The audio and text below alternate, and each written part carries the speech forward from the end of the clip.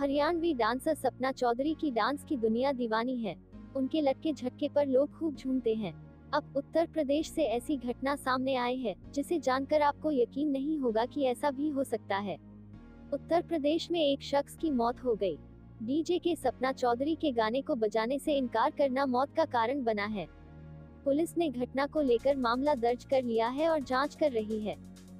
घटना उत्तर प्रदेश के बुलंदशहर से सामने आई है। बताया जाता है एक शादी समारोह में सपना चौधरी के गाने को बजाने को लेकर जमकर बवाल हुआ। कोतवाली पुलिस सकिल में बारात आई थी। मैरिज हॉल में कुछ युवक नाच रहे थे। इसी दौरान डीजे से सपना चौधरी के गाने को बजाने की फरमाइश की गई। डीजे के मना करने पर लोग बेकाबू हो गए और दो गुटों में मारपीट हो गई। इसमें एक शख्स की मौत हो गई।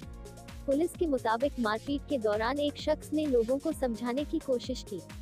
इसी दौरान उसे दिल का दौरा पड़ गया। पहली नज़र में शख्स की मौत कार्डियक अरेस्ट से हुई है।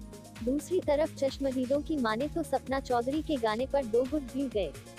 इसी दौरान एक शख्स की पिटाई कर दी गई, जिससे उसकी मौत हो गई है।